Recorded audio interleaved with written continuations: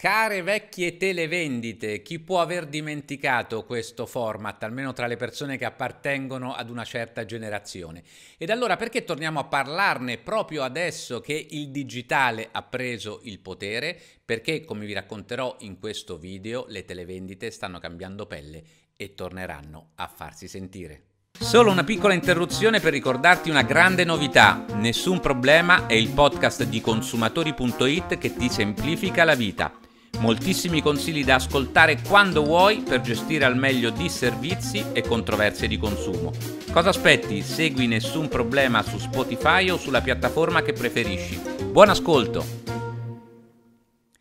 È proprio così, si tratta di un mito degli anni 80, degli anni 90. Agli esordi della televisione commerciale le reti private avevano tantissimo spazio a disposizione nei palinsesti. Qualcuno dice c'era più spazio rispetto agli inserzionisti. E così ricorderete durante le mattinate o eh, in tarda serata cominciavano i rulli, eh, quelle televendite che andavano in loop e che ci proponevano eh, i prodotti più eh, disparati, eh, da quelli per eh, la pulizia della casa a vari attrezzi ginnici, eh, alle creme dimagranti immancabili, eh, ma ancora eh, batterie di pentole, eh, preziosi gioielli, orologi, persino delle case d'asta. Merceologie molto diversificate tra di loro che avevano in comune qualcosa, e cioè il target. Eh, persone in ascolto, tendenzialmente anziane, eh, che avevano molto tempo a disposizione, che lasciavano accesa la televisione sullo sfondo delle loro loro eh, occupazioni. E quando poi si è sviluppato il digitale, persone che avevano pochissimo accesso ad internet e che quindi utilizzavano le televendite e poi le telepromozioni, che sono un po' l'evoluzione eh, della televendita delle reti eh, private, eh, un po' per farsi compagnia e anche per acquistare. Moltissimi consumatori eh, subivano una vera e propria dipendenza da televendita e in molti, a giudicare dalla loro diffusione, dalla loro persistenza nel tempo, acquistavano, non so, la famosa famosa scarpiera a 19.000 lire piuttosto che non quell'attrezzo ginnico proveniente dagli Stati Uniti che eh, ci riproponeva una televendita persino americana doppiata un po' in modo artigianale con delle facce degli attori che certo non rassomigliavano alla tipica casalinga italiana, ma che pure, evidentemente grazie a sconti, grazie alla loro persistenza e grazie ad un anchorman, ad un presentatore che catalizzava eh, l'attenzione degli spettatori e poi quasi tutti sono diventati dei veri e propri personaggi anche al di fuori delle televendite. Quali erano dunque i caratteri che hanno decretato eh, il successo anche nelle vendite eh, di questo formato? Beh, il primo lo abbiamo eh, già detto, eh, una eh, empatia, una eh, fortissima presenza in video del presentatore, paragonabile in qualche modo ai moderni influencer. E poi la presenza delle testimonianze di altri consumatori soddisfatti anche qui il parallelo con il digitale viene facile, pensiamo alle eh, recensioni oggi così diffuse. E poi la scontistica riconosciuta tradizionalmente alle prime 10 telefonate, come se qualcuno potesse monitorare eh, che fossero premiati gli ascoltatori eh, più fedeli. E poi da non sottovalutare il coinvolgimento del telespettatore, seppur a distanza, con le dimostrazioni del funzionamento del prodotto. Cioè i prodotti erano sempre esibiti non in modo statico, ma nel loro funzionamento. Citavo il robot per pulire lo sporco incrostato tra le fessure,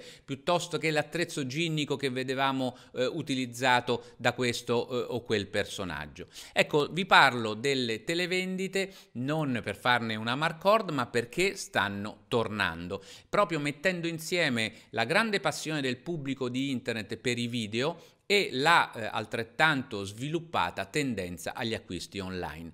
Proprio mixando eh, immagini e possibilità di acquistare con un click sta nascendo quello che viene chiamato live commerce o live streaming commerce. Che cos'è? Semplicemente nel corso di una esibizione in video eh, il consumatore ha la possibilità di acquistare direttamente eh, dall'interno della eh, trasmissione. Sono già molto diffusi eh, in Cina eh, dove assistiamo ad esibizioni di chef che ci presentano presentano eh, questo o quel piatto e all'interno di questi show il consumatore può eh, acquistare eh, gli ingredienti o gli attrezzi per eh, cucinare. E nel mondo del lusso eh, si vanno eh, diffondendo dei veri e propri tour virtuali attraverso webcam dove la piattaforma ci fa conoscere il prodotto, ce lo mostra in un dettaglio impossibile per la pubblicità tradizionale, consentendo al consumatore ancora una volta di fare degli acquisti, in quel caso di capi di abbigliamento, di accessori, borse, anche molto molto costose. Tanto che si parla in quel caso di remote personal shopper, cioè di un assistente eh, virtuale allo shopping ma da remoto, che se ci pensate bene ancora una volta è la traslazione nel mondo eh, digitale eh, di quello che fa un addetto alle vendite di queste botteghe del lusso eh, che ci accoglie in guanti bianchi, ci offre il caffè ed è completamente dedicato a noi per spiegarci eh, perché dobbiamo acquistare questo eh, o quel prodotto.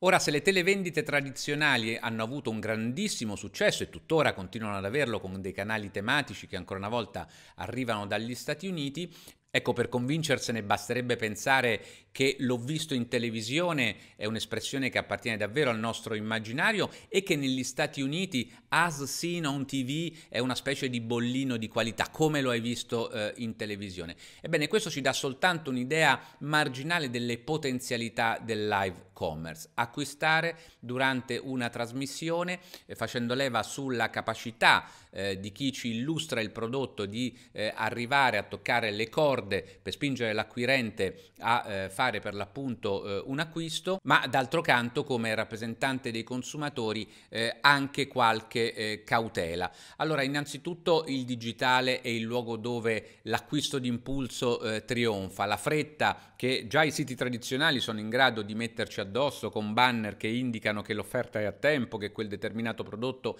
è in via di esaurimento, immaginate quanto possano essere più pervasivi, più efficaci durante una trasmissione in video. E poi ancora una volta, come nelle vendite tradizionali, quali possibilità ha il consumatore di fare un benchmark con eh, prodotti dello stesso tipo per trovarne magari alcuni più economici e quanti dati verranno assorbiti dalla nuova televendita che può valorizzare ogni mia eh, attenzione per questo o quel prodotto per poi farmi arrivare attraverso altri canali eh, un'ulteriore sollecitazione all'acquisto. Ecco, queste sono soltanto alcune primissime considerazioni che chi si occupa di tutela dei consumatori eh, deve svolgere davanti a un cambiamento eh, di paradigma.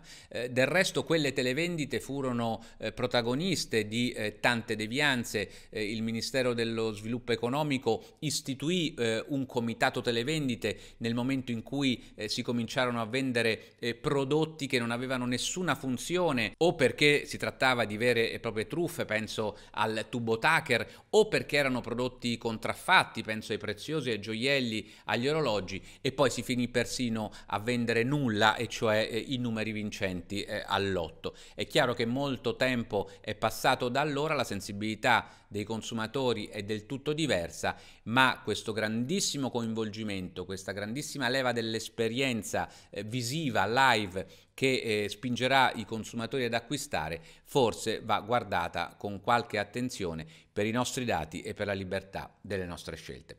Voi che ne dite? Eravate degli appassionati delle antiche televendite o avete già visto la moderna eh, versione di questo format? Fatemelo sapere nei commenti, ditemi cosa ne pensate e noi restiamo in contatto per tornare a parlare di diritti dei consumatori. Alla prossima!